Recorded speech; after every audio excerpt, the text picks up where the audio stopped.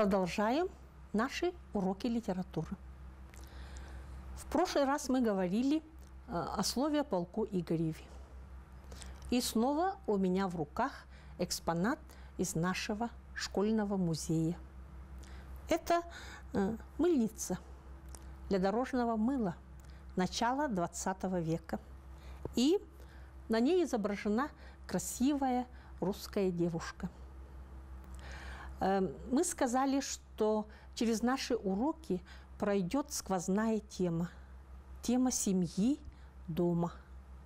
И главным человеком в доме я хочу назвать женщину. В прошлый раз мы говорили о Ярославне, жене князя Игоря. Ну и наш второй урок, третий тем более и последующий тоже будут иметь своими главными героями женщину. Или женщина будет в центре событий этого литературного произведения. Мы идем по порядку. После древнерусской литературы у нас идет литература XVIII века.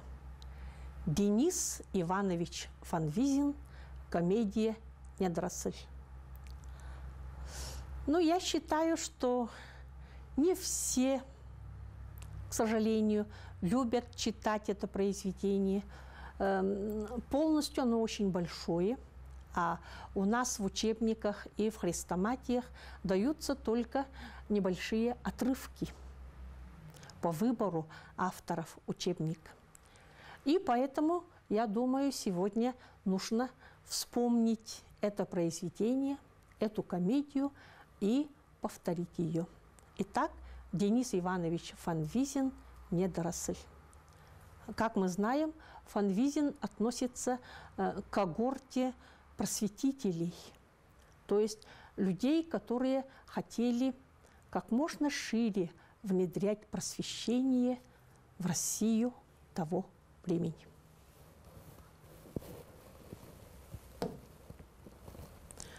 И опять темы сочинений, потому что э, и ОГЭ, и ЕГЭ не обходится без древнерусской литературы. Смотрите. Эм, как название комедии Фанвизина связано с ее проблематикой? Об этом мы тоже будем говорить. Эм, как раскрывается тема злонравия и форм его проявления? Эм, почему комедию называют комедией воспитания? И в чем состоит смысл названия комедии «Недоросль»? Эти все темы взяты из банка тем и заданий ФИПИ. Так. Э, основой для слайдов мы взяли э, рисунки, иллюстрации к этой комедии.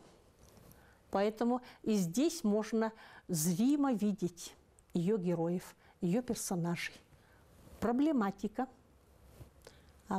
Идея показать нравственное разложение дворян-крепостников. Нравственное разложение. Потом обличение пороков. Это обязательно для литературы эпохи просвещения. Непринятие просвещения – это их первый порок. Госпожа Простакова, Митрофан, жестокость к окружающим. Это, э, возьмем для примера Иеремеевну или портного Тришку, или учителей Митрофана, как к ним относятся хозяева. Проблемы – это отношение к крестьянам, обязательно. Потом эта тема продлится и до э, «Горя от ума», э, обличительные монологи Чацкого, и до Онегина. Э, «Раб судьбу благословил», когда Онегин заменил Барщину оброком. Неправильное воспитание, тема воспитания начинается уже в этом произведении. Неправильное воспитание Митрофана. И потом будут ошибки в воспитании Онегина. Э, у него рано не стало матери. И отец э, доверил воспитание э, юного Евгения, мадам, месье. Деспотизм и произвол по отношению не только к крестьянам, но и по отношению к окружающим, к Софье, например. У Софьи никто не спрашивает, хочет ли она выйти замуж за Митрофана, или хочет ли она выйти замуж за Скотинина. Вот это и есть произвол. Так, теперь смотрим структура и художественные особенности. Так, первый конфликт у нас любовный. Хотя ну, тема любви э, звучит не так ярко, как в других произведениях русской литературы, но все же этот конфликт есть. Софья, Митрофан, Милон и Скотинин. И мы смотрим, вот кого выбрала Софья. Э, имена у них – это литература классицизма, поэтому имена у них говорящие. Об этом мы тоже будем говорить. Софья – это мудрость. И Милон, наверное, от слова «милый». Социально-бытовой конфликт, второй, вот английское обозначение «против». Простакова и Скотинины э, в литературе э, эпохи Просвещения герои делятся на резко положительных и резко отрицательных. Вот Простакова и Скотинины – это отрицательные герои, включая мужа госпожи Простаковой, который забит до такой степени, что говорит, какое у тебя мнение, матушка, э, таково и мое мнение. Я не смею иметь собственного мнения. А, правда, я в Москве смотрела спектакль, где Простаков эти слова говорит с иронией. И вообще он иронически относится и к жене, и к Митрофану.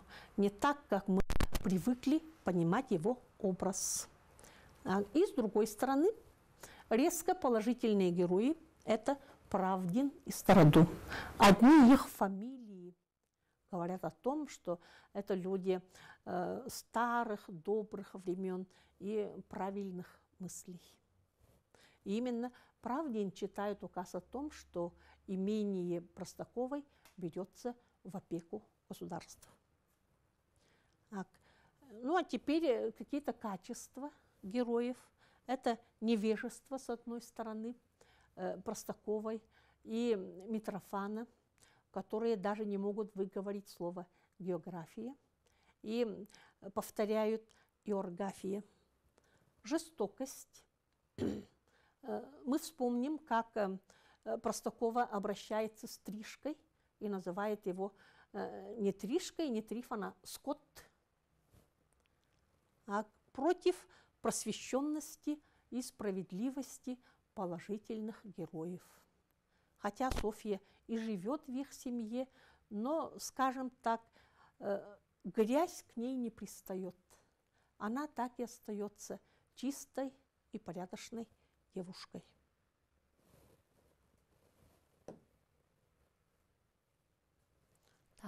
И теперь подытаживаем. Правила классицизма – это три единства. Они соблюдаются даже в горе от ума. Единство э, места, действия и героев. Положительные, отрицательные герои, говорящие имена и фамилии. Так, теперь персонажи. Как можно их разделить? Госпожа Простакова, Митрофан и Скотинин – это представители непросвещенного и злонравного дворянства. Простаков, Стародум и Правдин – это резонеры, положительные персонажи, поучающие отрицательных героев. Правдин, Иеремеевна Тришка, извините, Иеремеевна Тришка – это крепостные. Кутейкин, Циферкин и Вральман – это учителя – Циферкин, иногда пишется через И Циферкин, а чаще через И Циферкин. Путейкин, Циферкин, Вральман, учителя. Вот э, обратите внимание на э, фамилию Вральман. Э, он оказался кучером на самом деле. Софья и Милон – участники любовного конфликта и, можно сказать, любовная пара. И выводы, с какими ключевыми словами мы должны делать. Актуальность проблем для того времени, собирательный образ дворян, но они делятся вот на два лагеря, просвещенные и непросвещенные, можно сказать, и речь героев, очень яркая, сочная речь героев. И Э, я читала в журнале «Репетитор» такое мнение, что самыми яркими моментами этой комедии э, являются сцены с Митрофаном. И речь Митрофана такая сочная, яркая, и он э, герой, хотя и отрицательный, но выписанный очень живо, как живой человек.